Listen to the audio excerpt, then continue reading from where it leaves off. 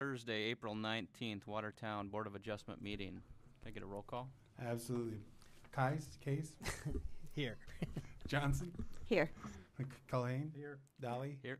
Hanson is absent, Ford, Here. Olson is absent, Oletsky. And Stein is abstained from this meeting. Thank you.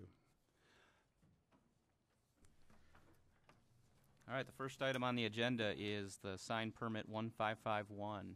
Can you walk us through that, Kenny? You bet. Uh, Stein sign, Mark Stein, sign permit number one one one five five one appeals to following requirements of the sign ordinance as it applies to property located at thirty-one thirty-first Street Southeast. Uh, off-premise signs shall be limited to two hundred and eighty-eight square feet in size and shall not conflict with the state or federal law. The provision of this sub- subsection shall be deemed to apply to any federally designated right-of-way. The applicant is applying to put a three hundred and sixty foot square foot billboard, two-sided digital billboard in replacement of an existing sign. Uh, if you guys are familiar, this computers are not working very, very well at all, so. Uh, this is the Hobby Lobby parking lot. You got two twelve down here. There's an existing billboard here right now that you guys have all probably seen through the past. They are, they are requesting to take and remove this sign and put a digital billboard. Uh, this sign where it sits right now is not legally sitting conforming. It's in an easement and too close to the road and everything else, but they would place a legally conforming sign approximately in this area here, and actually, I have that. Can you go to the overhead for me, Ray, please?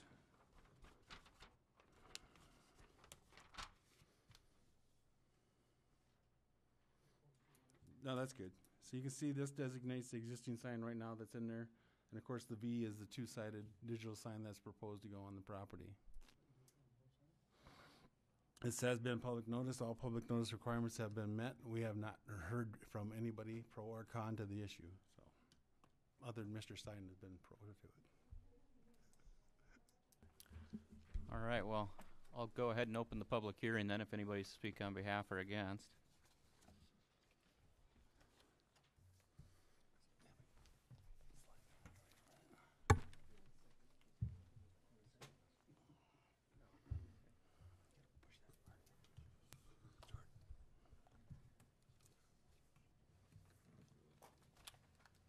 Okay. Good afternoon, everyone. Thank you for, thank you for your consideration as we talk through this request. Um, I'm Stuart Stein from Stein Sign Display, and we are adhering to, we are adhering to all of the standard sign code requirements for this particular location, except for, for one piece. We are adhering to the minimum lot size for C3, which is 20,000 square feet. We are adhering to the single monopole structure, which then in turn provides a clean, modern look, which was the intent of this sign code as it was rewritten here just a couple of months back. We're seeking an exception on the square footage for the sign, so that's the piece that we are asking for the variance on, that is one-third less than this existing sign. We're asking for 72 square feet. That's essentially what this request is all about. And I do have a picture that I think would actually help show that uh, request uh, even a little bit clearer. Uh, Unfortunately, it doesn't uh, show up, if it could be zoomed in, there's a, What, yeah, what he's trying to show you is this line yes. here. That is, the line that uh, Ken just circled, that is what 288 square feet would look like. So you're Okay. basically gonna get rid of that and, Exactly. and the, and the written word on the bottom. Correct. That's what would be allowed under the sign code as it's written right now, the black box. Where's the 360 line on the box? The 360 line would essentially be right here. Okay, so this is where it would be cut off. This entire right side, the right side of my finger would be cut off. So whose head gets cut off if we go to 288? No heads get cut off. The bottom tag line gets cut off. This black box represents 288 square feet. And then the 360 would be everything That there. would be 360 square feet, correct. So we're, we're reducing the size, just to kind of recap the numbers, the existing board as it stands right now is 480 square feet, That would be the, correct? 480 square feet is the existing board. The sign code as it, as it stands right now allows 288 square feet. We're asking for 360 square feet. So with those numbers, we're, we're giving up hundred and twenty square feet, asking for seventy-two as kind of that happy medium. We felt like this would be a reasonable request, um, given the consideration, uh, given, given the circumstances. And, and the, those circumstances are this. This particular billboard is Let's go back to the screen for a minute. To the, yeah. You can Yep. see the distance from here over to here correct. and from here to here, yeah. The, the, the, main concern that we have with this particular location and the whole premise for this request uh, has to do with the distance from the road. If you compare, just for comparison purposes, the billboard that we have that's by Hy-Vee is ten feet off of the road.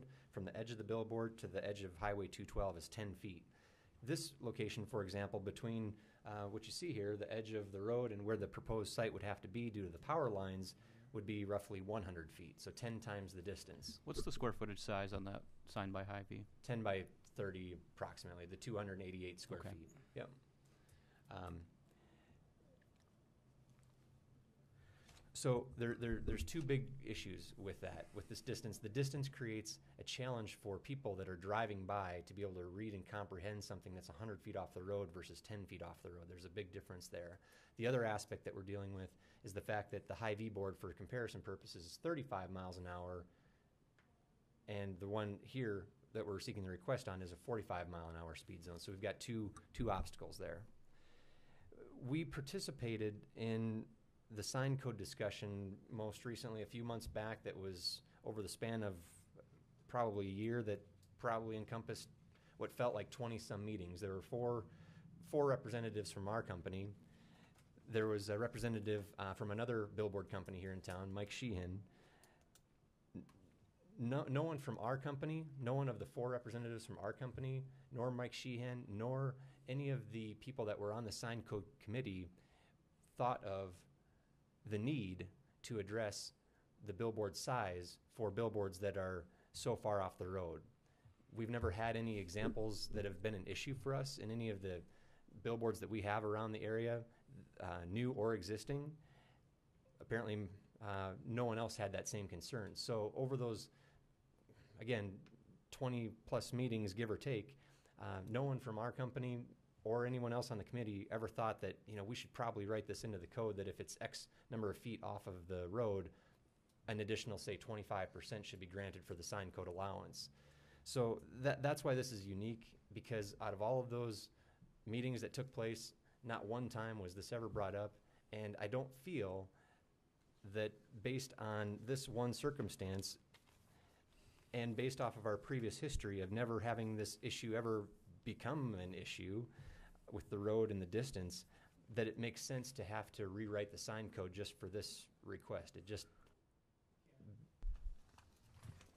How many signs are on the north side of the road between 19th Street and 31st Street? I mean, the, reason I ask that question is that in this situation, this, this is one sign, but those other signs are 100 feet back from the road. So if we were going to be looking at doing one, theoretically, we could be asking four more asks down the road. And if that's the case, then maybe the more appropriate thing to do would be to have an amendment to the ordinance if that's what we're looking at. So you're talking about the one that's by the cemetery, is that one set a hundred feet back? No, there's three, there's two or three signs That- that sit on the north side of the road there, aren't there? and, and frankly, we, Stein Sign Display, probably own most of those boards between that point where Ken is Right. referencing and this. How many, high- s- how many signs are there? Probably six, There are So 13. theoretically, we could have, s- 13? I counted them Okay. yesterday. theoretically, we could have Thirteen. six to thirteen asks, increasing the setback from, or increasing the size sign from two eighty-eight to three sixty. And if that's the, where we wanna go as a community, that's fine.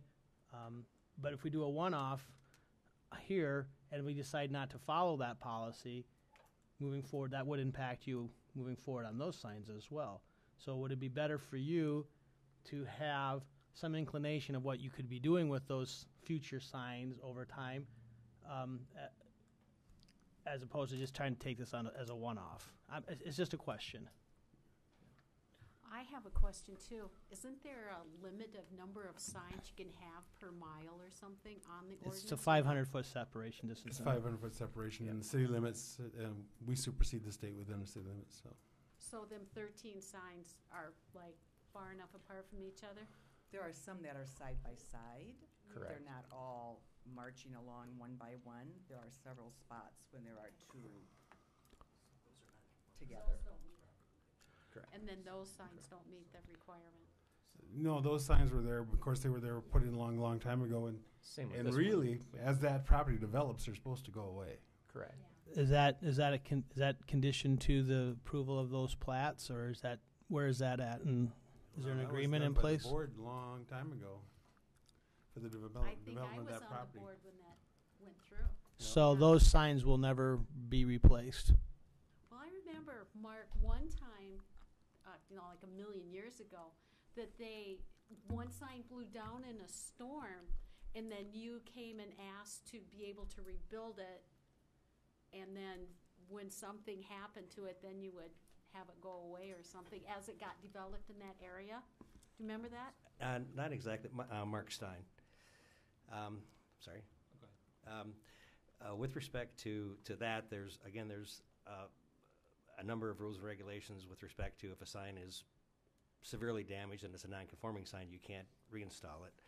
With respect to many of the signs on, uh, that Mr. Kay is referring to along Highway 212 there, many of those are non-conforming signs, and so that if and when they are ever taken down, which they will be as that property is developed, um, they will not be reinstalled. Mark, however, if, if, if, um, there is nothing being developed there in, say, the next three to seven years, and you wanted to plant a different sign there, there's nothing precluding you from coming in and asking for a similar ask as you're doing right now. Uh, technically, no, I guess, if they're conforming, which I don't think most of those are, but because we know that that property is going to be developed, would make no sense to put a, you know, big expensive. Windstorm comes in this summer and knocks all thirteen signs down. Are you not gonna come back and ask to replace those thirteen signs for the unforeseen future? Uh, I don't know, there's a lot of ifs in there, but I, I, I don't know that. Okay, one if, one if God comes in, smites it out, and they're not conforming, you still have the ability to come in and ask for a sign. And if you came in and asked for a sign, would you ask for two eighty-eight or would you ask for three sixty? we would ask for two eighty-eight because, again, with the circumstances of this electronic sign, it's a lot, um, it's a, it's a, uh, a lot different circumstances with respect to the, um, billboard signs, because many of them are, are way bigger than two, two hundred eighty-eight square feet for that matter. I'm not trying to pin you down. I'm just trying to. I'm just. These are the issues that you know people want to know Eh, about. The other, the other piece that I would say too is that if that happens, you know, there, there has to be an economic decision that takes place because it's very costly to put up a single monopole structure. Okay. And the likelihood that we would ever recoup our return on investment by the time we uh, had that new monopole board in the ground, we would be rolling the, rolling the dice on whether or not someone would come in and develop that property, you know, next week. So uh, if that happens, it would be a long, hard discussion on whether or not it would be worth it. In my opinion, we probably would not. And the reason I'm asking these questions is just that um, the sign committee spent over a year, and maybe it's something we don't you don't hit it every time. I understand been in the in the game long enough, but 288's been 288 for fif 12, 13 years, right? And so, if we go to 360, regardless of you know how we pen ourselves into it, 360 is the new 288. Cor- correct. I mean, that's certainly worth consideration. But I guess I would even reference the sign code and all the representatives from our company. We never, correct me if I'm wrong, never argued that 288 wasn't the correct number because it met the need and the boards of all of the locations in town. Right. This particular board is 100 feet off the road. It's a little bit different. And I would even question whether those other 13 boards are really 100 feet off the road either. I, I personally don't think that they are, look, but I they, could be they wrong. look relatively in line. I mean, they're at least 80. The, the, the two on the right do, but the, you know, the two on the left and the, the third one on the left there, those look closer. But Ken, I'm- would you Ken, would you measure the one on the the west end? Maybe. I think this is a case of the road growing to the sign. Shane, maybe you could ask a couple engineering questions. Um, the frontage road that uh, is not planned to be an extended towards um, Hobby Lobby, is it? No, it's not. And is there any long-range plans with Department of Transportation to um, make Highway 212 divided the further west it goes towards town? There's been no active discussions regarding that that I'm aware of. It doesn't seem, The edge of that one to the center line of the road is about hundred and twenty feet. okay, but I, But again, that's a stationary sign too. Right. We got a long time to see one, one and only one. Right. Uh, Point of clarification as well, uh, the hundred feet reference is from the edge, the north edge of the road, so tack on another twenty feet or thirty feet, whatever that is for comparison purposes. No. We should do the far side. What's the difference in height? Are they both going to be the same as the, uh, the height's going to be the same as like the one at Hy-Vee, I guess, that we're all familiar with? Correct, that would be another area that we are conforming to the sign code, thirty feet is the maximum height, it would not exceed that. Is the existing sign taller than 30 feet? The existing sign is very close to thirty feet, give or take a couple feet. I didn't take part at all in the former discussion of the formation of the sign code or sort of the latest revision, but what was the impetus for the two eighty-eight? I mean, what was, what's the history behind that number? Well, kind of like Todd said, it's kind of always been that way. Well, we sat down and I remember talking about it, and it's, it's a 12 by 24 sign, is, is, is what 288 equals. That- And, and I think it's been in there for fifteen years, ever since I've been here. And part of the reasoning was that I think at the time was people were thinking, well, if we were going to allow for stacked signs, 12, and that was part of the discussion. The other aspect was, um, you know, most of the standard signs were 10 by 30s or 12 by 30s at the time, and the, the mission of that board was trying to reduce the size of signs and clutter. And so that's why I think they settled on the 288. If I remember, Mark was in some of those meetings, I think. And tw- twelve by thirty being three sixty? 360 and a 12 by 24 is a 288.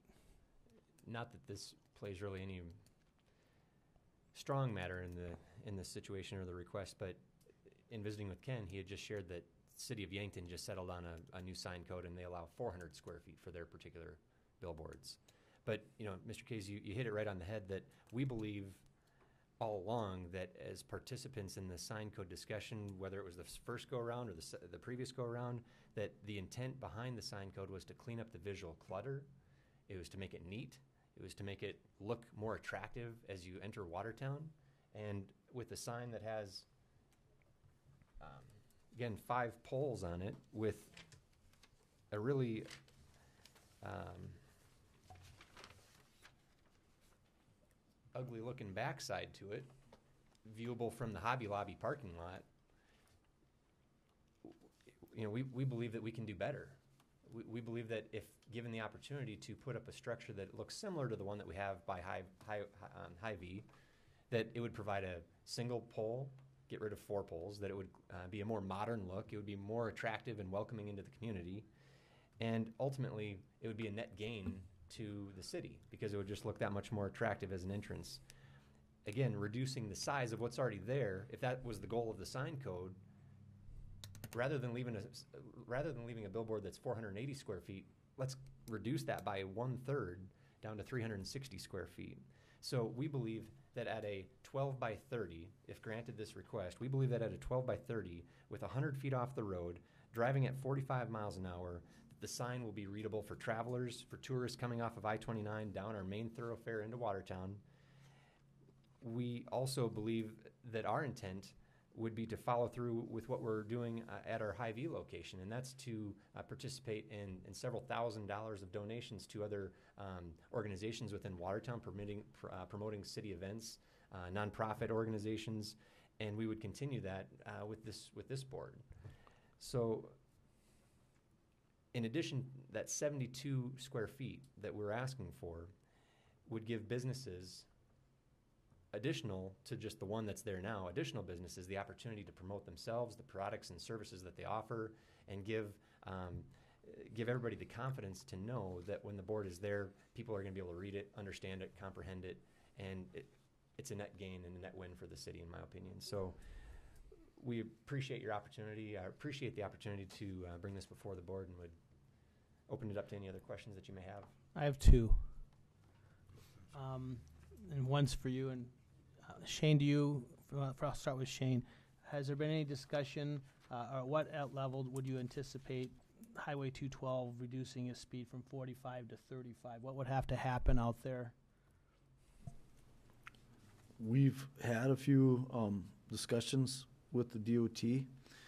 Um, It's their intent to maintain the speed and efficiency of the highway as they have the vision to keep that speed up uh, to its current lo- level and location. They don't want to alter it.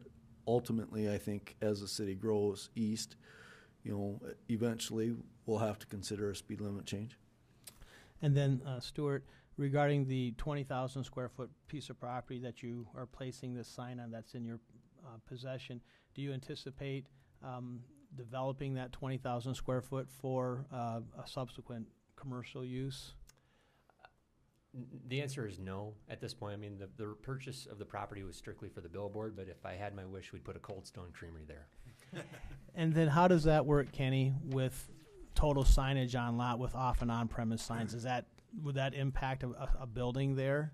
Yeah, any signage they put up there, if they do a future building, it would go against their signage allotment. So that, that would go, So theoretically, depending on how much signage they would have, they would lose the three sixty off the top. yep. So if they were given a total of thousand, they'd lose three hundred and sixty whatever square feet off of that for the rest of their structure. Thank you, Stuart. I have a question. You um, talked about the speed limit and the visibility and the readability of the sign, and you, you um, backed that up with, I believe, I believe, I believe. Are there any industry standards or engineering studies or any specifications that relate to readability of a sign, distance from a roadway, speed limit? There must be some industry standards or engineering studies out there that give you a guideline on that. Is there more than, I believe it won't be readable? Is there some documentation, data to back that up? That's, that's a very fair question. And I'd like to call in the expert on that one, and I'm going to call in uh, Chris, Chris Wilson because uh, Chris uh, deals with this type of thing more frequently than I do. Oh, all right. Chris Wilson, Stein Sign Display. Um, I believe if I understand your question right, you're asking if there's some kind of a documentation or some, some, um, w- you know, letter of the law standards that we are supposed to follow or, or should follow? Not necessarily letter of the law, Okay. but has there been some studies, when you go out to a customer and they want to put up a sign someplace, and it happens to be hundred feet off this highway, Mhm. and the speed limit is forty-five miles an hour, there must be a way that you can put pen to paper and use an algebraic equation of some sort and say, this is the minimum sign that is going to allow this sign to be readable under these conditions, rather than just saying, I believe this is what you need. Correct. That's, I mean, that's a, that's a very uh, fair assumption. The way we would attack that, uh, there's, uh, there's not really a set of guidelines. It's all about visual. So when we're talking about an electronic sign, we're talking about something that has content that's different from one advertisement to the next. So we would, we would suggest, okay, uh, you're going to have verbiage on there, your letter height would need to be no less than X to be able to be clearly read. Um, but because there's so much more involved in those advertisements, there's pictures, there's logos, things like that. It's there's really no hard fast rule. It's uh, you want six inch tall letters, but we're sorry you're not going to be able to read that. So we would have to make them be 12 inches. You know, it's I don't have the formula. I don't have the equation. We just know. Uh, we just know. There, there are actually, if you, I mean, even if you were to Google it, there are certain charts that they have that say, in order to be read uh, at 45 miles an hour, the minimum height has to be X inches. If, so, to, to your to your question, there there is a chart. There is some sort of a guideline and table, um, because ultimately, I mean, at this location, yeah, you could have six inch letters, but it's not going to be readable. So another way to put it is say, you know, 12 inches in letter height at our Hy-Vee board at 35 miles an hour at 10 feet off the road is not going to be the same in terms of readability at 12 inches 100 feet away at 45 miles an hour. So it limits the it, it limits the amount that you're able to essentially work with on the board, limits the uh, content, if you will, on on how effective that message can be because there's again there's only so much time you can read as you're driving by, and there's only so much space on the board to work with. So there are some parameters in place out there.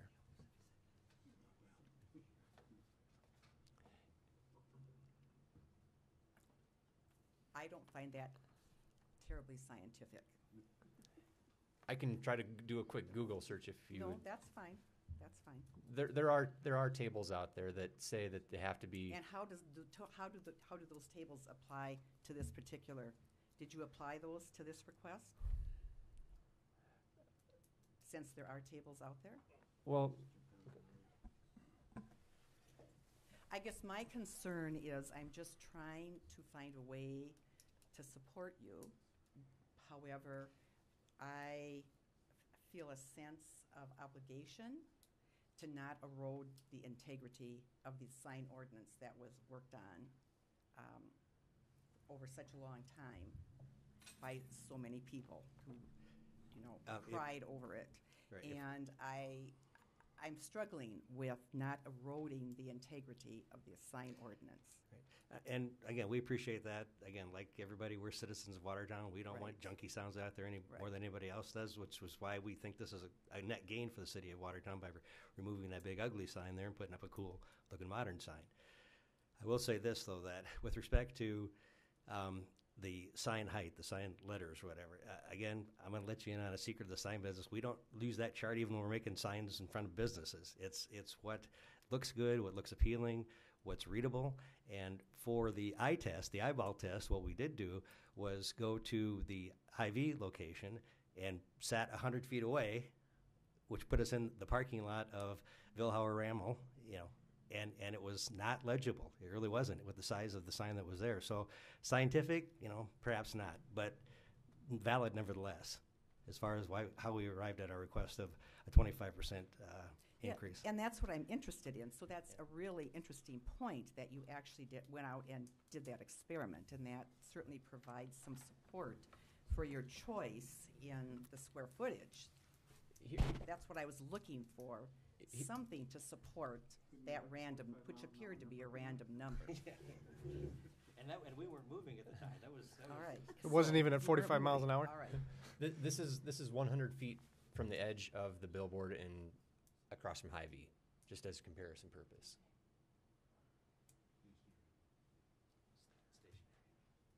Stationary. So hopefully that at least provides some a real life example. I, I use my golf range finder, pretty scientific there. So it's literally down down to the yard. So tell me, Stuart, what happens if it's denied? What, what's your plan? It's one of the questions that we have to answer. Uh, as I alluded to earlier with Mr. Kays, we'd have to make that decision. The, ec- the economics of it all come into play. S- option number one would be to leave it as is with the single advertiser, collect revenue, and It's not going away then. support that. That's one of the options. The other I option, mean, you're not taking it down, it's gonna stay there, no ma, it's gonna stay there perpetual because you own the land that it sits on, so there will always be a billboard there. That's one of our options. One Okay. of our, one of So our it's gonna be there, yeah, Yeah. okay. Yep. That's, I'm just making that point for you, you know, Absolutely. so there's always gonna be a sign there, no matter what it looks like. So we can either stick with this, or we can, like you said, modernize and move forward. Exactly. I I think it's clear that the, the proposal that you've brought is an improvement over the existing structure. It's, the material and construction is mm-hmm. more in compliance with the standard. Um, I, I understand the, the request for the size difference based on the, the setback from the road. And, you know, I'm just thinking about it in terms of, you know, almost like when you go to the eye doctor and you're looking at the, the letters, right? They don't change in size, but if you got farther back from that, it gets harder to read. Um, so I understand the request. Along Todd's line of conversation earlier, though, I think, you know, I would, I would probably prefer to see something in ordinance that would say if it's, you know, past a certain distance from the road, that we would change the, the size requirement or size allow, allowable. I think there is an opportunity, I mean, if we are collectively thinking that an ordinance change is necessary, we could pigeonhole this variance by conditions, um, so that no one else can make the same ask, giving us time to look at changing the ordinance, if that's where this board is, is at. Um, I, I, I do agree, I think the distance from the edge of the road, many billboards, if you go out to the highway, um, they, they sit right on the property line. And depending on, this is a, a, an extra large right-of-way that we don't see through many areas within the community, so you could make a justification for that. I'm, I'm generally averse to, to variances, and the only way that I would support a variance in this section would be to make it specific to only electric signs, only, uh, no bigger than three hundred and sixty feet, no, uh, uh, at least one hundred feet from the edge of the road. Um, and then, if that was to move forward, instruct staff to come back with an ordinance to support what we're doing here. The proper way, more or less, would be to deny, let us fix it, and have them come back in six weeks. I don't know what that does to your timetable. Well, like anything, of course, time is of the essence. And of course, dollars, we'd- that's we'd- money. We'd, we'd appreciate the consideration and, and, um, I, I- I guess I would just reference that, again, for as many representatives that were from the billboard industry as part of these sign code discussions and the sign code committee in itself, this issue never came up. And so, the need to rewrite the sign code can certainly be done, but I think it could still be accomplished with Mr. Kay's suggestion and idea as well. And with your caveats, it definitely protect anybody else coming in, that th- this was the ground where you had to meet to do it, so. My biggest fear is in other locations in and around town, then we now have exploded into a three sixty. You know, that- that that's sort of the new standard, and I don't, that, that would be my fear. Mm-hmm. Where, where I do, I mean, I don't, I don't inherently have any issue with the three sixty, as we talked about, there didn't seem to be any real reason why it was at two eighty, besides sort of limiting it back a little bit. In this particular instance, it seems like it makes sense at three sixty. My fear is that then somebody else utilizes this instance and then tries to And the other thing is 360 looks small here, but 360 in a area where we have development in, then it looks cluttered. And I think that was the reason backing off from 360 to 288 many years ago. But I think if, if one of those ordinances, one of those stipulations is that this sign of this magnitude has to sit on a lot, whatever their lot size is. We, we've already changed the ordinance to do that. We, they're no longer able to put any. Okay, so priest Billboard on a sign that's not a legally conforming Twenty lot. thou- I, I don't think we're gonna have too many people running out buying that chunk of land along here. That To far put a off the sign up, road Where you're yeah. prime development property. that- Exactly. That I don't help- think that helps a lot, Kenny. Right. So I think that that would eliminate that, um, like you said, uh, copycat idea here. You know, and I- And and I I'm with don't- you. I don't, I don't wanna see a bunch of, you know, moving signs up there unless my picture's on it, but And, and I don't think anybody's really proposing to rewrite this, the sign ordinance. I mean, that would basically be an addendum to the, the existing ordinance if we, if we wanted to pursue that, so. John Stonebarger. Uh, I'm not normally known as a sign guy. I'm not normally known as being friendly to sign people, but uh, in this instance, looking at the existing sign, what's there right now is really not very attractive. Uh, It's hundred and sixty-six more, hundred and sixty-six percent larger than what you allow. And uh, it's on the five poles and the back of it is really terrible. Uh, They're willing to modernize the sign, make it look a lot nicer. And like they were saying, when we were in the sign code uh, meetings, we never anticipated a sign that would be off the right of way. And so the, su- the subject of, do you need to have a larger sign one farther back?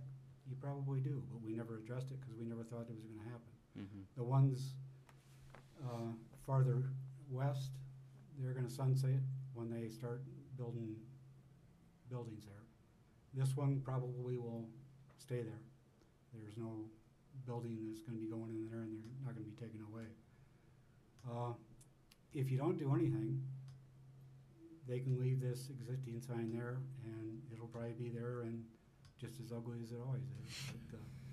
But, uh, I, I support, you know, allowing them to do that because you're gonna have a electronic sign on a monopole, which is a lot nicer than what you have here.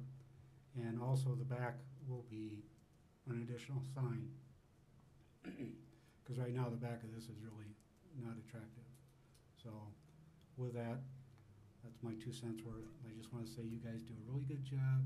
And I know you're taking your volunteer time to get slings and arrows thrown at you. It's so, nice uh, to see you Thanks, again. thanks, John. And this will probably be the last time you see me before the warrant, so take care. W- Was there anybody else to speak? Mark Meyer, Utilities. I just wanted. Mark Meyer, Utilities. I just want to state, we've been working with the Steins, but there is an electric overhead line going on across their kitty corner. And it's required by electric code that the sign has to be a minimum of ten foot away from the conductor. So we've been working with them, but I just wanted to state that the placement of the sign, Meet your your Yeah. requirements. yeah, thanks. Thank you. If there's no additional comment, I'll close the public hearing. I'd like to make a motion. Motion by Mr. Case, Motion to e- approve the variance to locate the sign uh, as applied for, um, based upon the following findings. One, the location of the sign is at least 100 feet from the northern edge of um, Highway 212. Uh, And further, the uh, Board of Adjustment um, would only entertain a similar request for an electric message center monopole sign design lo- located at least 100 feet from the edge of a public road to allow for a sign of the size of 360 feet, square feet. Does that make sense? 360, right? do, do we want to uh, request to look at the ordinance? Do that as after, Yeah, okay. after that. Do we want to add anything about the speed being a factor as well, finding a fact on the speed? Um, I'll take that as a friendly amendment. That speed has to be at least forty-five. Do we have a second? Second. Second by Colhane. All in favor, say aye. Discussion, Yep, discussion, discussion. discussion. Sorry. So how does putting the speed of forty-five in apply if the speed goes down and this sign is there? It will not affect this sign if the speed goes down to thirty-five? The forty-five, the forty-five would be for subsequent, Future. subsequent requests. I'm hoping that if, if this, regardless of how this goes, we have a more formalized discussion s- establishing what the standards should be, but if we are doing it to accommodate this applicant, I, we're pigeonholing for future requests. Okay, thank you.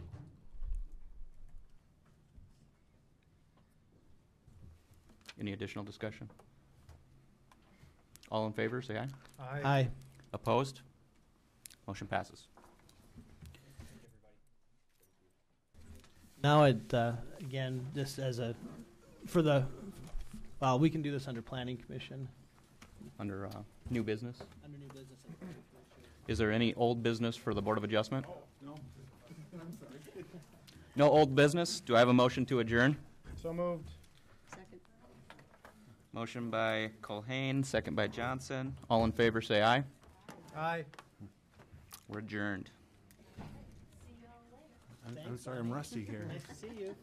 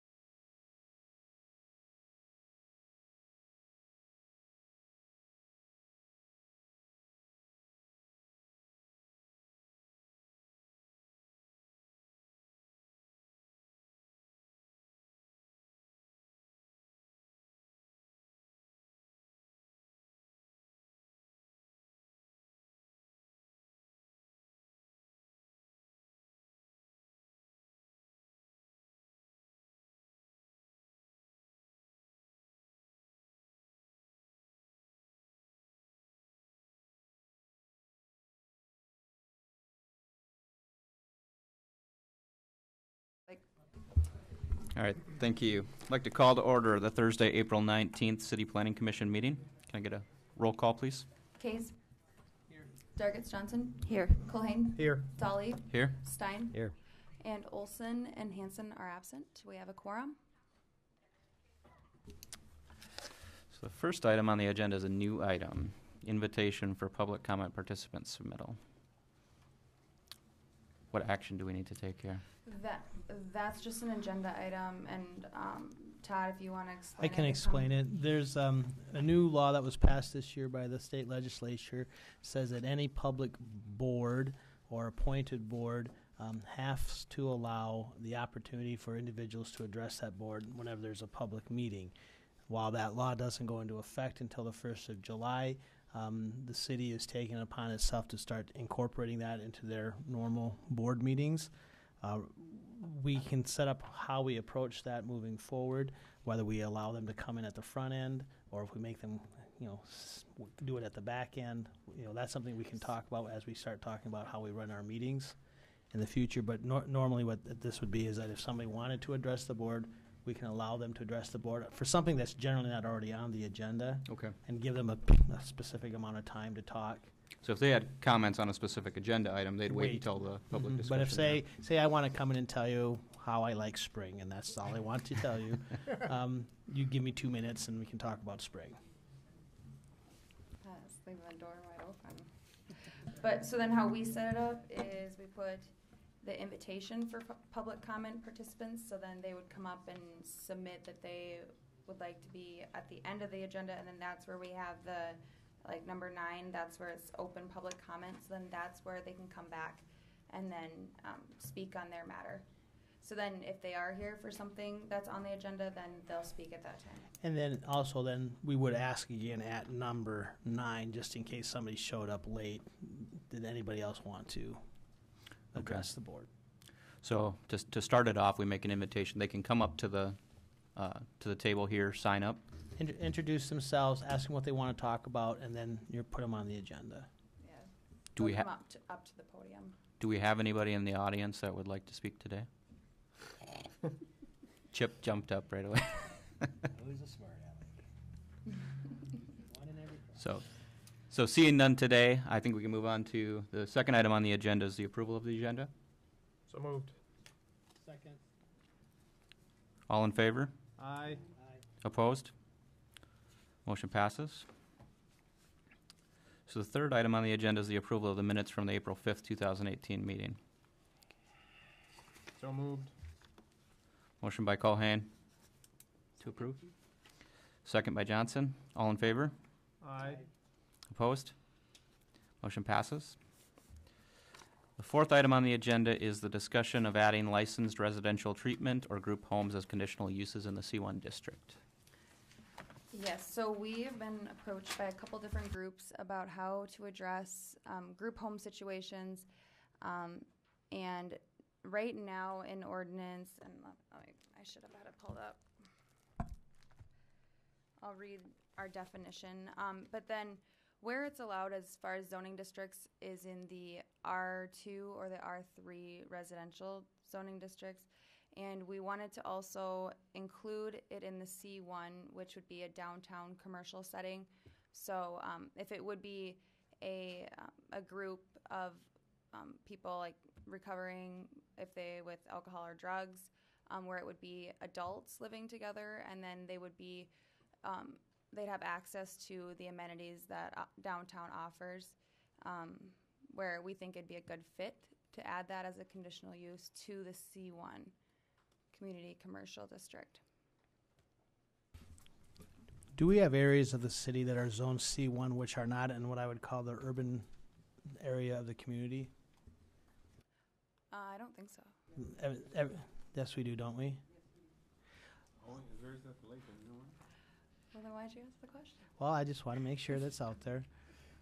Um, I think the C1 downtown is fine. I think C1 in other areas of the community, maybe we'd want to just, if we ratchet it down to group homes in the C1, and we were talking about having it so they're close to facilities, um, that would be my recommendation if, if we want to do that.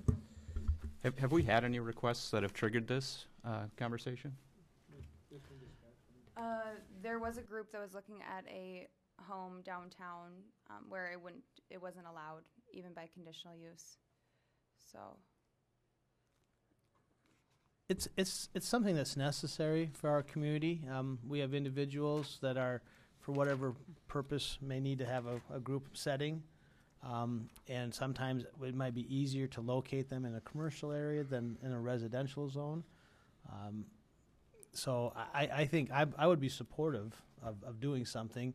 We, we don't have a lot of specific um, design standards or, or regulations that are associated with group homes, but putting them as a conditional use would allow us to, to develop those as we go along.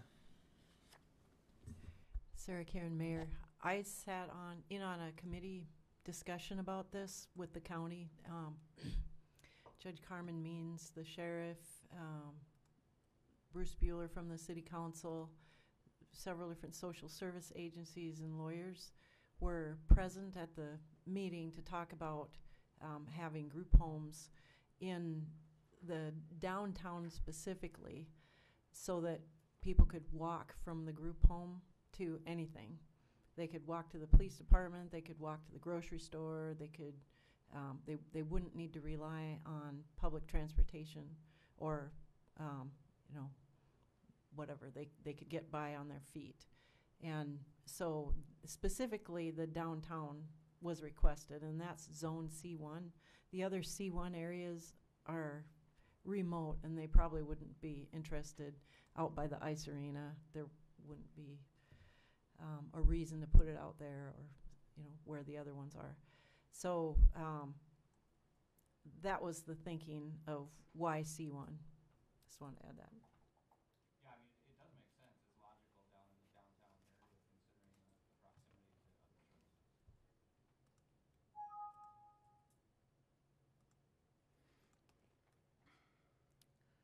um, I guess some other questions that we had as a group um, that we want to discuss with the board would be, um, you know, how many how many people parking, um, and like proximity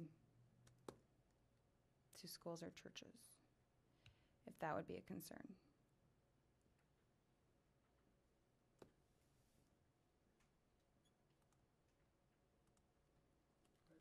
Presently, we have no design standards or for performance standards for group homes on the R2 or the R3 as well. So are you thinking about this would be something that would apply to all the, all group homes regardless throughout the community?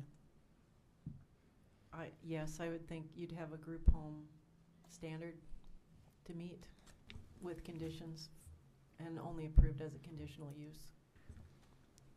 And this would, this would apply for either group homes with or without staff or service or, um, Well, and, and you might wa- want to make a distinction in, in that regard. I haven't thought through to that extent of it. Um, I think if you're just hearing this for the first time now, it's, you know, it might take you a while to think about what kinds of conditions should you put on this type of use? Should it be a certain distance from certain other uses, um, or zoning districts, that sort of thing? And does it require setbacks or any, any kind of standard that you would want that might be different from the zone? Well, in, in this case, the C one has no setbacks from the rights of way, so you might wanna make a condition that, you know, if it's in, I don't know, just throwing that out there, as something that would be in addition to the normal standards for the district, if you did this type of use. I think it's a good, um, idea to have the conditional use listed, but you wanna be careful, you don't wanna just fill it up Mhm. with a bunch of things with no conditions.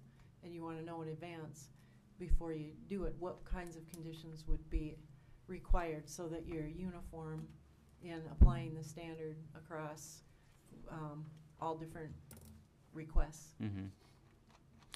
Have we as staff looked at what other communities in the area are doing in regards to group home requirements and conditions at this point? and there's different types of group homes. I mean, there's a, there are group homes for individuals in a, a group setting that maybe like a human service agency home. Right. Uh, there's group homes that are for individuals um, going through um, alcohol or, or drug drug treatment. Uh, group homes for transition homes for people leaving uh, penitentiaries or, or, or jail settings. Um, so I think it's group home. It, it might be whittling it down to what kind of group home. Some some group homes you can, um, uh, you know, put regulations on. Some you can't. I mean, if you are a protected class of, a, of an individual under the Fair Housing Act, you have to allow opportunities for those types of housings. Um, sex offenders are not one of those. Um, but you know that's also another another thing that you'd want to look at too if you're looking at group homes for treatment for sex offenders or you know, um, but I, I, it's it's a good thing. I, it's a good conversation to have. So, yeah, we've just discussed it between um, staff, and we can do research and look into other communities, and then um, more so if there's anything that you guys have that you would like us to include. Otherwise, the discussion, what we've talked about, we can, we'll just look into that and um, bring something forward as an amendment, or would you guys want? Maybe just give us something to react to, and at the next time, and then we can have a discussion, and then from that you can then formulate what the actual ordinance. But uh, examples is good. Does anybody have any misgivings about putting that type of use in the C one? Have a problem with it?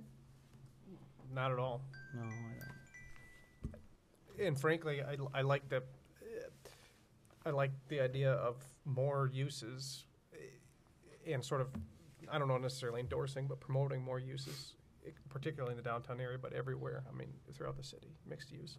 Um, and, and the idea of sort of a pedestrian focused use, which I think alleviates the need for a parking requirement. I will say that was the only, only input I had is that we probably don't need to tack a parking requirement on it or a very minimal parking requirement on it because it, we're talking about specifically for pedestrian use. Yeah, and many times these group homes, I mean, if they are permanent residents, lots of times they maybe aren't drivers.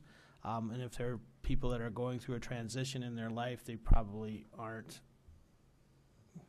as mobile going to and from places. And that's exactly right, and that's, that's why the C one district or the downtown was, um, desired for this use. And the last time this came up, I think the applicant gave up looking for a place. It, it's allowed in the R three, uh, but it, the Board of Adjustment at the public hearing, I think there were several public hearings, weren't there? And it was, um, without a standard, a list of, of performance standards, it is kind of random and people would come up and say, please, not in my neighborhood. Go somewhere else. I think it's great that you have this, just not here. So if you could come up with a list of conditions that would have to be met, um, and, and say, look, they're, they're doing this, they're doing that, and all of the things that would safeguard the public, um, just to make it an acceptable use, that will go a long way, I think.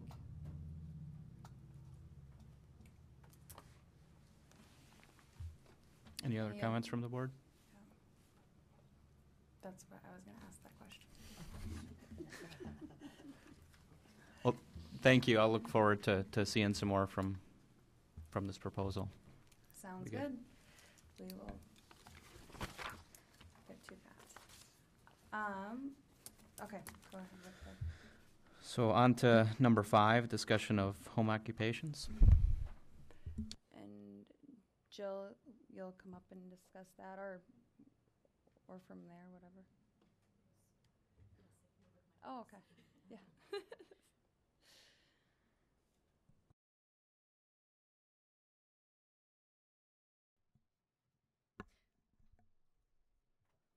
This is just a, I guess I'll, I'll start out, um, this is just a, a very first and very basic draft for, for you. I'm expecting to hear, uh, we're expecting to hear a lot of input and possible changes, so this is, this is just a first step. Very, very lenient, you might say, and it's, um, or straightforward, black and white. Okay, And so it's, it's up to this board to, um, let us know what you feel about it. We're talking specifically about the checklist, right? Correct. Well, conceptually, we were talking about right now, if I need to get a home occupation, is a conditional use in residential zones or is it a permitted use? Let's start with that conversation. conditional use. All right, that was what I thought, and I'm partially to blame. Um, most places where I work and most communities in the state of South Dakota treat home occupations as an accessory use. And that accessory use is generally permitted under certain circumstances. Um, in what's happening today, and what we see more and more, is that you have more people working at home, conducting business at home, and based on the size of the, if we were a small town and we only had three or four of these things happening at, at one time, um, you could probably have time to do all the work. It seems to me that um, as a person sitting on a, a board of adjustment where somebody says, I'm, I'm wanting to come in and do an occupation that has a minimal impact on the neighborhood in which I live, um, I'm not sh- sure if I'm the person to say why why can't you just go rent a building downtown and and put up a shingle there. And so what I was thinking is that we would take a take a the lead from communities like Brookings and Sioux Falls and Huron and Aberdeen that um, allow you can break it up into minor versus major home occupations. Those home occupations that um, generate a little bit more foot traffic, pedestrian traffic than others. Um, uh, for example, in in um, Brookings, they have a list of about a dozen different types of home occupations that uh, I'm an artist, I'm an artisan, I'm a, uh, I'm, I do handicrafts, I do specialty baking. We just had that a little while ago. I'm a professional office, I'm an author, word processing, computer, drafting, graphics, engineering, investment, insurance, interior real estate. I teach music lessons. Um, I do mail order work or internet work. I do, things with coin collections. I'm a sales consultant for Amway, Shaklee, what have you. There's a whole list of those types of uses that probably have a very minimalistic impact on the neighborhood. And depending on um, what we want to add to that list or take away from, those are things I think if I came in, I meet the checklist that staff has put together, which I think is, is a good thing. Let the staff just issue a permit for that. If there's something where there's some neighborhood concern or they want to use, uh, maybe there's a more intensive occupation, that way we come up with a list of those. Those then come, come to the board as a Board of Adjustment action item. I mean, I just, a firm believer that we don't need to be creating work for creating works, for works, you know, just to do that. Because the, the situation today is any home occupation would have to come for a Comes, we conditional. come and see them, you know. If somebody's watching four kids in their house, probably maybe not. Somebody's watching twelve kids in their house, maybe yes. Um, somebody wants to cut hair in their home, and it's a sing, you know, maybe, maybe if I'm going to only cut hair on weekends, maybe not. I mean, th- there's different types of situations that. Uh, is it really is it, is it problematic or you know and that, that would be a, a as a if the staff issues the permit and we receive complaints well then that would be an opportunity then for it to come back to the board of adjustment because Mhm. maybe there's a concentration of home occupations in the neighborhood i mean i don't i don't know but that's kind of where i was at with the whole discussion and and i know staff's been doing some work on that. We landed and we're well Jill put it all together where we have the checklist where then like here where it explains that um, if compliance with all limited home occupation standards cannot be met application for conditional use permit must be submitted. So as long as everything on the checklist and that's where it'll be you guys should study that to see if there's anything that you see as a concern where if there's something that they're always gonna have to come to the Board of Adjustment and there, or that we can change on here. Um, and I guess uh, what we can do, or how we can improve or change the checklist. I like I like what you did on the one. I got confused as there's a couple different checklists, but the one checklist where you have a listing of types of businesses, I would like you to revisit that, look at some other different communities that have listings that are much more comprehensive. I'd rather start comprehensive and whittle it down as opposed to start small and build it back up. Yeah. I, if, um, if I can interject there, um, what we started with here is, is basically, there's the one checklist, the second checklist that you're referring to that has the blue, um, writing is simply notes saying why we, why we did that. Right. Okay, so, um, these things, like I said, this is very black and white, very Mm. basic to start out with. And we started out with some place that would have, it, it includes a lot of, a lot of businesses, but they would be very basic. We looked for, um, basically, I'm gonna say zero, um, uh, people coming in, clients coming in. It would be, just be somebody working out of their home. Um, so you wouldn't have any. I want it parking expanded more than that. par- but it wouldn't have any parking issues, this is where we started. And, um, basically it would have, anybody living beside them would not even know there was a business existing there. No signage, that would include vehicles with signage, that would, you know, be parked outside, it would be parked inside. They would have a limited twenty-five percent area. of I'm their- fine with that. I, I, I've- I've read that, but I'm, what I'm saying to you is I wanted to start much bigger and whittle it down. That's my, I mean, unless, un, un- unless you guys want to start with that and going up. I think, again, if we can be more, um, out there, so that, again, we're not generating work for work's sake that really has no negative i- impact on a neighborhood, I don't know why we need to be over-regulatory in that perspective. You're talking on the example businesses that are Uh, listed. Yeah, I think b- be large and then, and then, and, and, and if people, um, if it's a small daycare, or if it's somebody teaching Day- music lessons, they could come in and out. Daycare isn't included in this. I want it, I want you to, I want you to start big, and we But- will have the conversation later. I want a litany of uses that we can go through and take them on one at a time, and then if we want to say that's a major and a- or a minor home occupation, we Yeah. can go from there. So I'd rather start big, whittle it back. Mhm. Just, just for a point though, daycare is gonna be its own animal, um, aside from this. I would recommend daycare be a home occupation, like teaching music is a home occupation, doing taxes is a home occupation. Daycare of certain sizes trips it into a, a higher review. Certain businesses that, if I'm, you know, that's what I'm saying. That's me. I want home occupations as a whole, and this is me. And if the the rest of the board says, Todd, you're all wet, great. But if we're going to make this a permitted accessory use, permitted means permitted, not a conditional use and let's come up with those uses that we're fine, that we don't have to see. And, and I think the list that is put together here, I mean, it does, it says that they're very low impact home occupations such as, but not limited to. So, and, I and I like- think that we yeah. had the direction, or that we were under the impression that the direction we were going with daycares was going to be separate, which is why we didn't include it with this, It- that it would be regulated, um, on a different level or, by Well, if, if we come back with daycare regulations, and if we're talking about daycare, and we're gonna say some daycares are gonna be a conditional use and some are permitted uses, then your animal is already fit for certain size daycares. It's always Okay. easier to whittle down than it is to build up. I mean, we'd rather be comprehensive in any approach when you're talking policy. That's just my, my, my background. What's your thought on the, the checklist?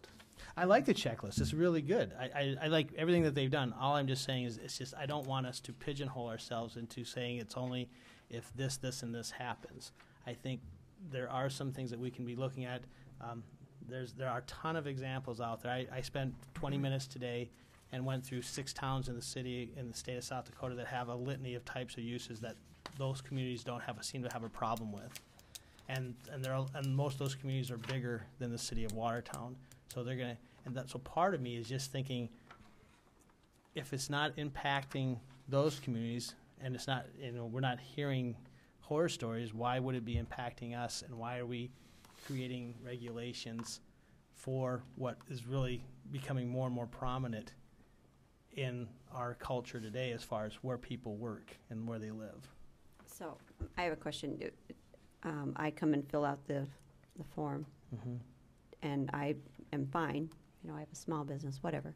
D- Do my neighbors still get the certified letter notifying them that No. I am? No. So no one is notified around me? No, but if there are complaints, that would be part of the issuance of the administrative permit. If there are complaints or something comes up, and a neighbor could, that would be part of the ordinance, that they could then ask that they feel that they're aggrieved by the decision of a board or of a member, it comes back to a board, we could have it then. What if by this checklist, we would add that where we still would send certified mailings, and if anybody came back negative, then the check was no? maybe rather than adding expense and time and, and work activities, I mean, if you guys want to add more work, go for it. I'm trying to help you here by, from a staff level, that you don't need to have that much work. If you want to make a requirement in there that they need to have a, uh, at least contact their neighbors or a sign off, that maybe be, put the onus on the applicant and not on staff. Right, I mean, and, but I think it is important that we still do protect the residential neighborhoods, because if it's something that a neighbor does have concerns about, just that they're notified. I think, know? I think, just like you said, have the, have that home- homeowner running around getting the six signatures or what have you. I mean, I think they should be notified. And, and that's, and that's, that's part of what I'm saying from a discussion standpoint, but I think, um, I'd rather have the discussion about large op, large ideas as opposed to small ideas. And I think at least with the, the checklist, the way that it's defined here, that's describing a business that, you know, your neighbor probably wouldn't even know that you're operating Right. today. And that's gonna be and less- most people probably are operating it today unknown to their neighbors. And, and that's gonna be less than five or ten percent of the actual businesses that you're probably talking Yeah. about, that people come in, you know, And so. Several of our businesses would actually meet this. Um, we're, we're talking about, instead of defining the business exactly, like a tax business or an insurance business, we basically defined it by, um, the level of business, like, you know, you're. you I could have think, I, I, I understand, I can read that part, but what I think is, is I think it's uh, too restrictive, is what, is my opinion. I think you need to open it up a little bit Okay. and take, take, take, take examples from other places that do have, you know, a little bit more flexibility. Like you say, in this case, and what you're saying here is that if I'm sitting in my room working on a computer and no one sees me for the three or four days, that's a business, that's okay. I think there are other businesses that are probably just as okay. So if we could, if we could do that, take, you know, take a larger list of example businesses and then as a group discuss which ones we're okay with, that could then affect the end checklist. Right. Right. And then, and then, then we don't maybe necessarily have to list the, the uses themselves, but what is common out, where's the commonality of those uses? Yep. And then that becomes the standard. So we don't have to have four hundred and seventy-five okay businesses, but if we have three general types of categories of business that we're okay with, we can, we can define that. So do you want us to just research other towns and come back with a list of business types and start there, coming back to you with that, or? I think if you take a look, go to Brookings, go to Sioux Falls, go to Aberdeen, go to Rapid City, and take a look at what they've done. Some of them, some- each one of them has good parts. Generally, there's some sort of a uh, listing of types of businesses, business specific, but you can you can you can marry what they're trying to do there, and it's um, not as restrictive as what's being proposed here. That's where I'm at. I mean, and, uh, unless the rest of the board is fine with with what we got here, we could vote on it today. I'm fine, but I, I'm I would like to see a little bit more flexibility put into the I mean, process. I'm, This is I'm just definitely fine discussion. with this because it's, it's pretty restrictive, but I wouldn't be opposed to making it a little bit less restrictive and allowing more in administratively either. Right. So if we do look at those example businesses and can come to terms of which ones are okay, To, to keep it broad though too, I mean, even no matter what your business is, or, you know, if, if we would just include whatever we want in the checklist, then if it just, it doesn't really matter what it is, as long as it's meeting all of the checks. Right. Where, Yeah. so then why couldn't we say, um, limited home occupations are, and just not have a list of the businesses of what they may If we have a list of businesses, you might understand what type of businesses you might encounter and what type of types of things that you're yeah, going to so it, it's kind of thinking about it on the abstract, I mean, right? yeah, I mean, in, in your thing here, I don't, I don't see somebody that wanted to come in and teach music lessons wouldn't fall underneath your thing. Um, if you, if you set it up that you, that a person can have a business where they can have more, no more than one client in their business or maximum number of clients in a business in a day, when we say, we, we. But- but who's that, gonna that, that, that monitor would be, that? that would be the term, and so all those other types of businesses would automatically fall into that, and there's your checklist. I'm, I'm only gonna have seven people at a, at, during a day, no more than one person, um, in my home doing whatever it is I'm doing a business for. And then if, the, the, the issue about traffic and those types of things is really a non-issue because you're on a, you're on a local street, which um, seven extra trips a day is not going to impact that street. And we want it to be too where, I mean, people have, in their neighborhoods, you know, they have the right to have as many people over as they want whenever and where, Right. you know, is it really going to be impactful if there's, if there is customer traffic or, you know, like what is it that makes, I think, you know, noise is a big thing, um, probably signage where it's, it, it looks, doesn't look like a neighborhood anymore, um, things like that, but you can't, you I'm- can't. I'm your selling fireworks in my house, probably not. Right. I So, would- and that's, I would that's where if we're looking at some example businesses and thinking about how, how they would be performed from a home, you know, maybe we want to relax the zero customer traffic and say, you know, one client at a time or something along those Or lines. if, 'Cause that's, if I'm it's only going to pretty have one restrictive person, there. do I really need to have two off-street parking spots? I mean, your code that you just showed us here, the IBC code says that as long as there are no employees, I only need to have one. So why do we require two? No, two parking spaces are required for every single-family residence. Right, but I'm just saying, but you guys also, we also, as a conditional uses, we require to have extra. We consider extra. Right. Mhm. I, I'm just saying the IBC code says that you only need to have one parking spot if you're no, if you have no employees. Oh, you mean the, the back page, the International Zoning Code? Yeah, the example of the International Zoning Code does have, um, parking spaces required. Yeah. That's, that's just, we put that in there as an example. No, that's my, that, mean, that was good, I like that, Yeah. I like that.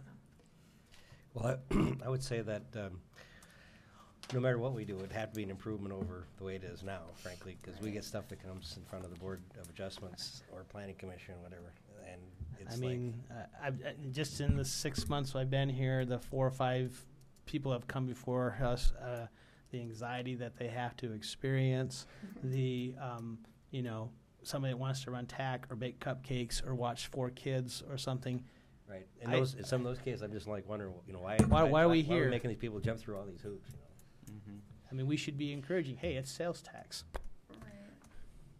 Because, yeah, and, I mean, as long as they'd have a sales tax number. That would be another requirement. Otherwise, somebody, I mean, somebody can bake as many cakes as they want every day in their house, you know, like, it's, as long as it's just not impacting, like, and these businesses, like, their neighbors wouldn't know they exist. I do like the mm. idea, though, of having, to let, to let them know, because say that, so- say somebody's making crafts and there's like always like hammering noises. My mom, my then they know mom, my mom makes on. quilts all the time.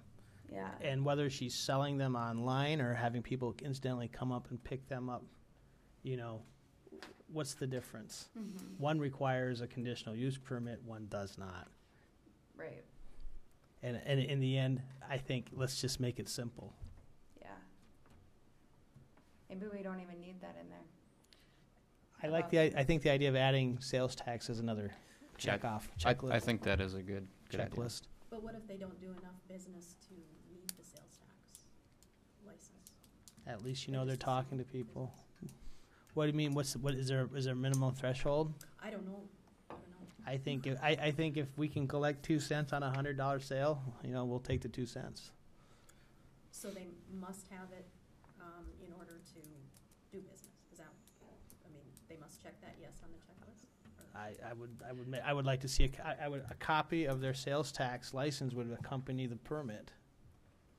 I would say that if they're doing a business where they would actually be in contact with the city, that they probably would have a sales tax license, otherwise it, I mean, it probably would be a hobby.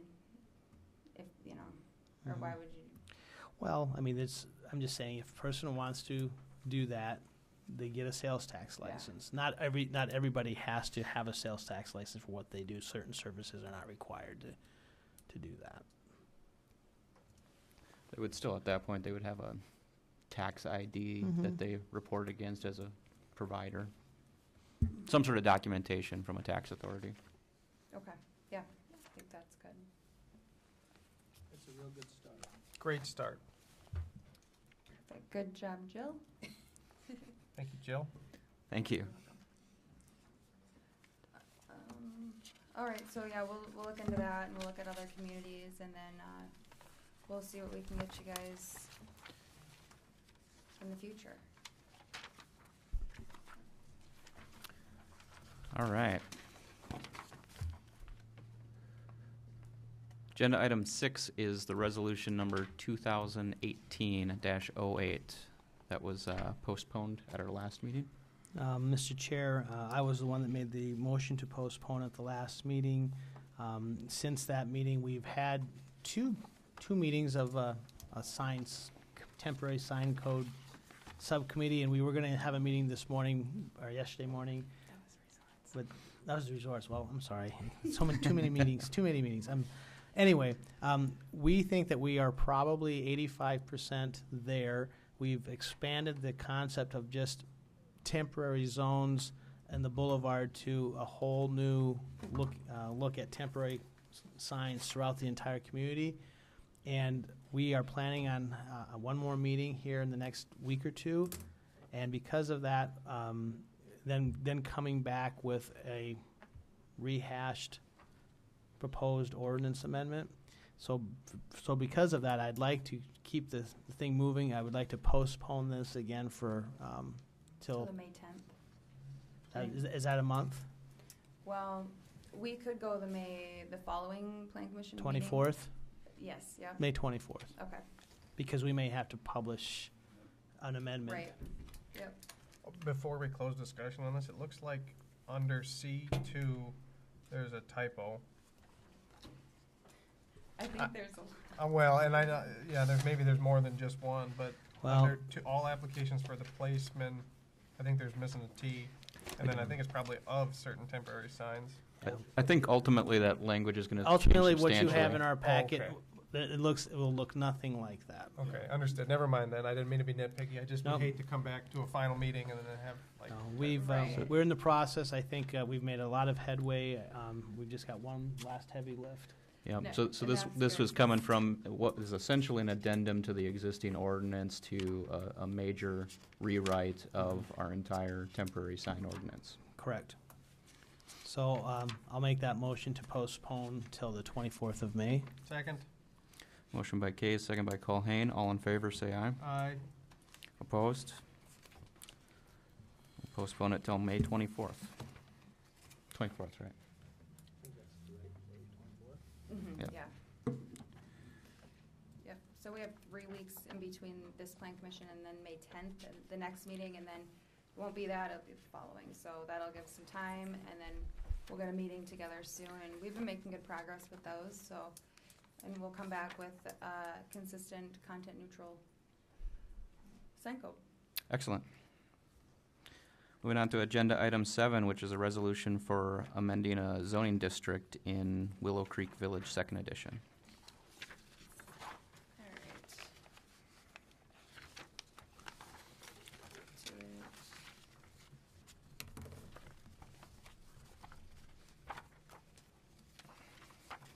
Definitely should have used the button. Okay. So this is the rezone of all that portion of Outlot Six, lying north of Second Avenue South and west of Twenty-second Street East. I'll pull it up here on the map. It's this shaded area. Um, the petitioner is Donald Endris, the president of Willow Creek Development, Inc. The petitioner submitted the application and petition on March 29th, requesting approval of the rezoning, um, currently described, or it's currently zoned R three, which is multifamily residential district, and they are proposing to rezone it to R one, single-family residential, residential district. Um, their reasoning, as, their reasoning for that, um, is that they would like to develop the lots as single-family housing, and R one, um, is more restrictive than R three. So, uh, a similar, also just for a little history, a similar request was approved in twenty fourteen when the lots on the west side of the pond were rezoned from R three to R one. Okay, well, we'll just stay on this right now. Um, It does meet all of the, um, the lots in that existing R three zoning do meet the minimum lot area and width requirements. The rezone will extend to the center line of the adjacent public right-of-ways, and um, the only, the only issue is that there, um, in this, where did my stuff go? Whoa.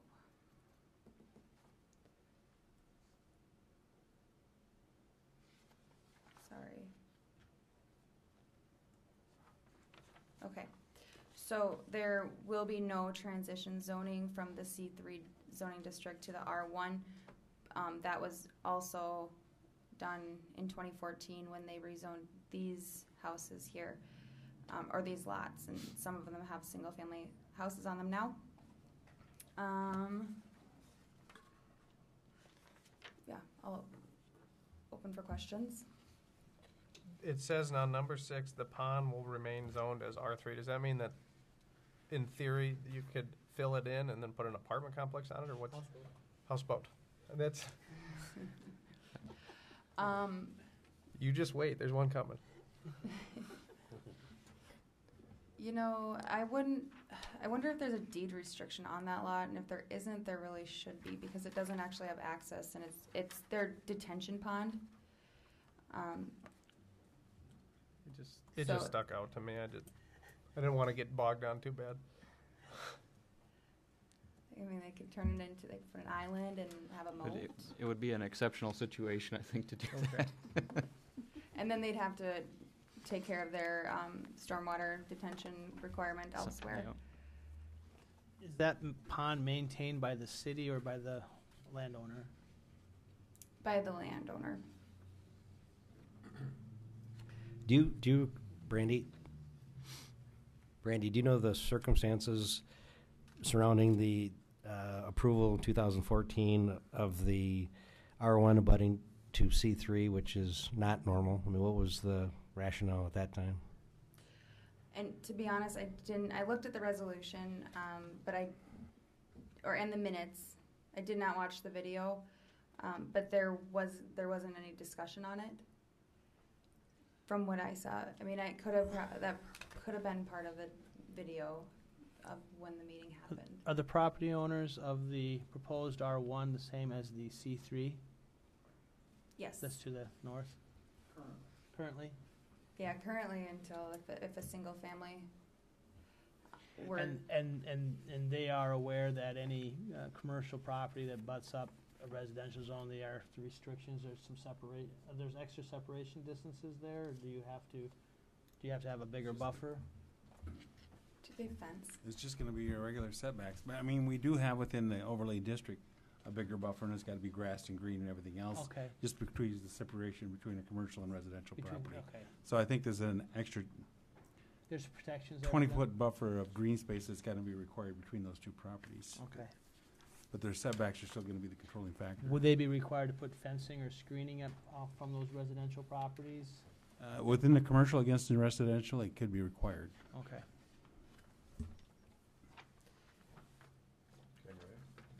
Mr. Case, my name is Joe Quinn. I represent Willow Creek Development. Um, From the uh, current R1 on that map that you see there, uh, moving west to the larger lot where we are currently building an apartment building.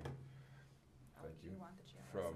from this point here, re- re- relatively from right here to approximately right there, we have taken that, that buffer zone um, that Ken referred to, and we have, uh, according to the drainage uh, plan that we put together with our civil engineering, we've created a berm structure there with trees and things like that. It's our intention to continue that all along this, uh, this property until we get to the, the um, Natural buffer there. Correct, yes. So to answer your question regarding the C three abutting an R one, this, this lot right here does, that is technically correct, and this lot would be as well. Um, but it's our intention to further enhance screening with trees and, and, uh, dirt work. Thank you. Natural screening. It's good. Any other questions from the board? Is this a public hearing? Yeah, we have to Uh, open the public hearing. I think. Sorry, let the record show that the public hearing is, is open. Is there anybody else that wants to speak on behalf or against? Seeing none, I'll close the public hearing.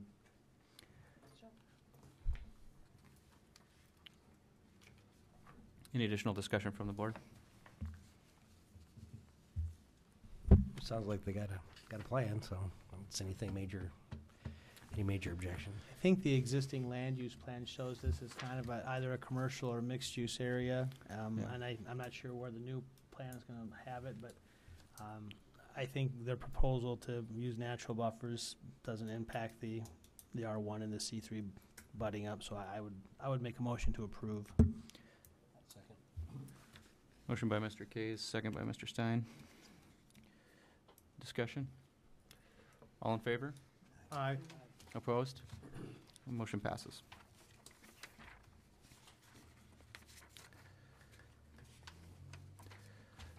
Item eight on the agenda is a replat of Block Five of Valley View. All right, this agenda item um, is, and you guys actually have just, you've seen Block Five of Valley View First Addition, not um, too far back where we rezoned it from R3 and R1 to all being R2, which is single-family attached residential district. Um, up here. So the petitioner is Jamie Andrews, um, the acting agent for Valley View First Addition. The, I won't read all that, but, uh, fine. The petitioner submitted a replat to Block Five of Valley View First Addition on March 29th, requesting approval for subdividing the existing five lots in the plat of Valley View First Addition into nine conforming lots with R2 single-family attached residential district zoning. The proposed lots, one through nine of Block Five, um, I'll get down here so you guys can see the reference.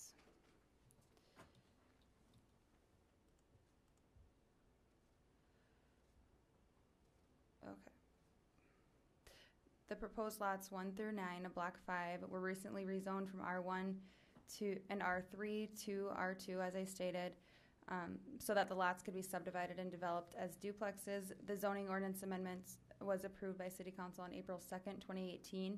And then it was of this board's request, and we would have brought this forward anyway. There is not any public right-of-way being dedicated. They're doing a private road for access, but it does create over five new lots. Um, but then also, as a condition of the rezone, um, the plan commission did request that the replat come forth.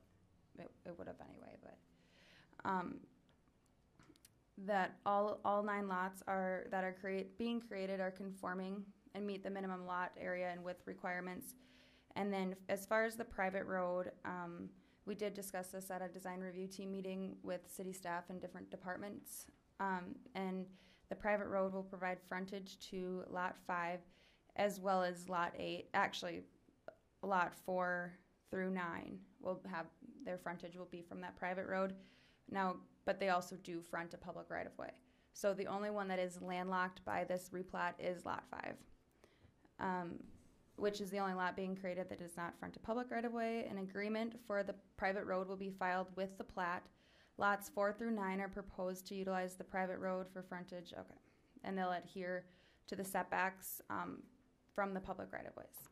Setbacks are not required on private roads, although an easement must be unobstructed. And we do, we have requested, um, sufficient easements and we have the approval of the Watertown Municipal Utilities. So then they are able to, um, do their work, um, within that private road. And then also, going forward, we decided that usually we bring the development agreements just to city council and we only present a plat to the plan commission. But we thought it would be of your benefit to be able to review the development agreements that are subsequent to a plat and required so that you're having, I mean, as the planning commission and looking into these things, that you're um, being, in, that you're involved, and then if there's any concerns that you see, um, any additions that um, you would like to suggest to be made to it. A lot of the language is standard, um, but I mean, in this situation, the one, the part that is a little different is the private road section, because um, you know, usually we do have the public right-of-way dedication. And what's awkward about that language is that we, we kind of go back and forth between road and street. But this is actually how it is written in ordinance. I, I didn't, I mean, because it says private road and then A talks about street. So, um, that's, that's where, just to point that out, if that was confusing to anybody. Um, but then otherwise, all of the public right-of-way improvements, that'll be done by the, well, the same developer actually that's signing this, that will sign this agreement, because he's the landowner there too. But for Grant, Sixteenth, Fourth, and Grant on the south, that'll all be improved by, um, J and J Land Sales as well, and they, they signed into the development agreement for Valley View First Addition, that came through last summer. And then another agreement that is attached, um, I guess the exhibits, Exhibit A shows the cost estimate for what the developer will incur for this replat. And then, um, Exhibit B is attached, although it is really small where you can't really read, but this shows that, um, the buildings have to adhere to the elevations that are given for each lot, that, which, um, what the lowest finished floor should be.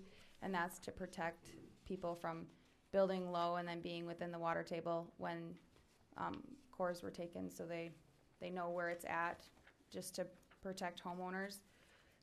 Um, and then the agreement for the construction and maintenance of the private road and other miscellaneous plat conditions is also included.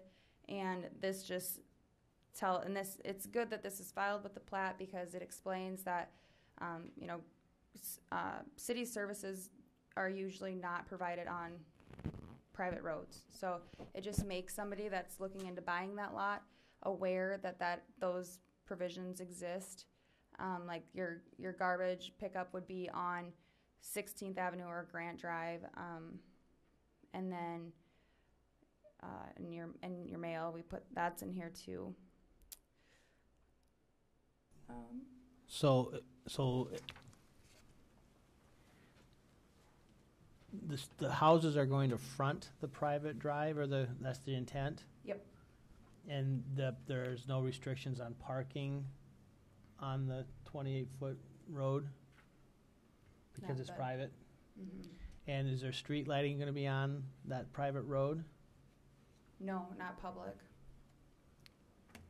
If they do it, if the private road is their project. And then, it's, how is the addressing work for the lot five? Um, we, we talked about it, um, just with some of the people within city staff that work on the addressing. And we proposed to the developer that they, first they didn't have, well, they didn't have it labeled, it just said the ing- ingress and egress easement is granted by this plat. So, um, but how we went, up- went, um, done this in the past is that we've had them call out what the private road will be called because for as far as um, emergency vehicles and you know pe- trying to find these locations fifth street west is what made sense to us that they would be addressed off of fifth, fifth street west. Okay. and we included that in here too. Um, so then it wasn't like they the, usually it, it leaves it up to the developer to name it. But as far as um, our Okay. ems stuff What will We- the s- I'll, I'll, I'll add a little bit to that. So we did have a fairly lengthy discussion, and we felt it was critical that two things happen. One, that we didn't have some obscure name for one little block, even though it's a private road. So, you know, finding Jones Avenue or Jones Street that's in a small segment like that, it's kind of difficult. So we thought consistency with Fifth Street to the north was important. And then also then carrying the addressing through there as if it was a public street would be a lot easier for those people to both address themselves and for the emergency services to find them when they need to. So that was uh, the culmination of our discussion. And, and where do they, so where's their garbage pickup then for five? Where do they take their cans? They can choose to either have it picked up off of 16th Avenue or Grant Avenue. Okay. Um, yeah, so developer agrees on their behalf and that of their successors in title interest of lots four through nine, that the pickup point for residential solid waste and recycling and other similar services for lots four through nine shall be located adjacent to Grant Drive or Sixteenth Avenue North. And yeah, I didn't know Shane if we actually ended up calling it out, that's why I wanted to read it, but like what Shane said. So, so sidewalks are required in the public right-of-ways, but will sidewalks be along the private drive? No, they're not required, but, you know, for, it, it's the developer's discretion. Obviously, sidewalks are nice, They could put them in if they want them, essentially. where it might help make their development more marketable.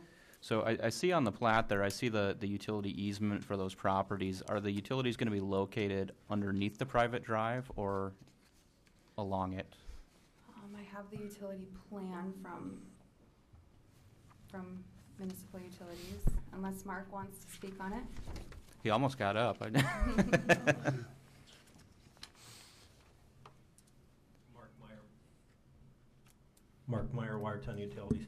Um, we're not going to put anything under north and south, but we do plan on crossing east and west. Okay. So sanitary sewer will go which way?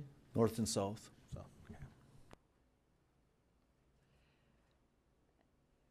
And another nice reason with the private road and not, and having the access points on public right-of-ways is that a garbage truck or snow removal equipment isn't going in there and breaking up their private road. And then those people having the expectation that, well, the city did it, so the city should fix it. So, and it is at least, you know, it's not such a long distance, but it, and it does add a hassle, but that's where they are, they know that going into it when they buy the lot from the title, you know, they'll get this in their title work. Brandy? So there is a covenant that's gonna follow with that lot, those lots. Yeah, well, they'll, they'll read it in this agreement that we have with the developer, that, um, then those discussions should be had where they'll be informed of it. Did the city attorney review the development agreement? Yes, Matt was, yeah, Okay, so what happens to their obligations with the previously recorded development agreement? To Um, which this is, this runs with the land. right, um, I, th- I think as far as because of the public right-of-ways and whatnot, is that what, like the improvements to those? I think those are still, um, taken care of with the first addition, but then this would just be, cause you know, they're only platting within the, the lot lines are within the right-of-way. So then, So this is an additional obligation, it doesn't nullify there, it's it got, doesn't rescind that, right, the Valley View it first still addition. applies. Yeah. Yep, and we can verify that again with Matt, just to make sure, but, and that's kind of the nice thing too with how we're gonna go about bringing these to plan commission, so then we can get all these out before we would bring it to council and have them, so we'll, we'll make mm-hmm. sure that we verify that nothing is being rescinded, cause we don't want that. Right, that's confusing too. Well, I'm supportive of it because I, I'll see this every day I walk out my front door. And so I'm, I'm wanting to see new houses to stop the wind. And maybe catch some of that snow, huh? Oh, God. Yeah, the shelter belt's gone. I lived there for fourteen years. I never had more than six inches of snow in my driveway. I had three foot drifts this winter. That last one was bad. No, I live on eighty-one and I had a three-foot drift in my driveway. Do we have to make, a- to approve it, or what's the, If you, just make your motion. Is it just the one action? So we've got, Yeah, um, it's still, we're only acting on the resolution 2018 13. Does that include the recommendation of the development agreement or, or that's just more our information?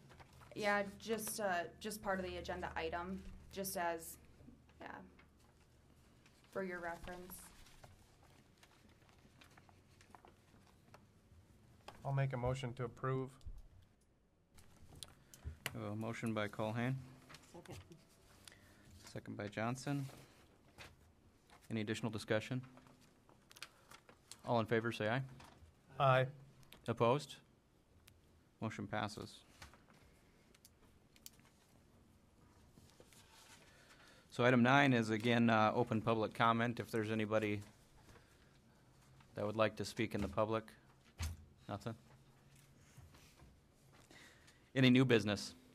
I believe we need to elect officers. We were going to include that on the May 10th. Okay. Um, I mean, it's you, it's your call unless you guys want to do it now. He's doing a good job, so. That's, that's fine. We can put it on the agenda for the tenth. Okay. And then, yeah, we'll- it'll be our item, it'll be on the top there. Um, I do have new business too. Um, and more so of a clarification. I know when we talked about Second Street and that vacation that you guys were wanting a heads up on things in the hopper. And, um, we do, we do have another request, it- but as far as how far do you want us to go with those? I mean, if it, it's not an improved right of way that the next, um, petition is for.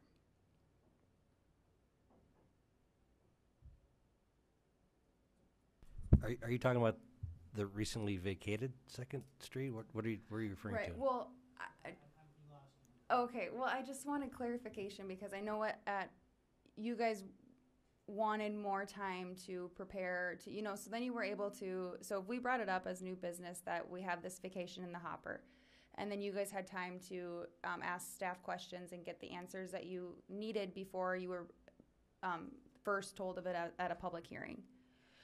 Now, do you want that to be just the policy going forward that we have with vacations?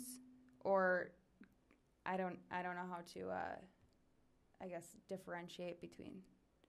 So you're asking the question is when a future vacation comes up, when do when do we want to know about it? Yeah. Did I detect not- that there is a future one coming up?